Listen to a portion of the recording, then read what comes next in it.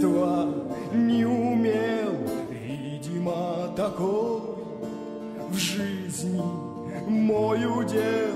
А она, да что она, вечно мне лгала, и меня никогда понять бы не смогла.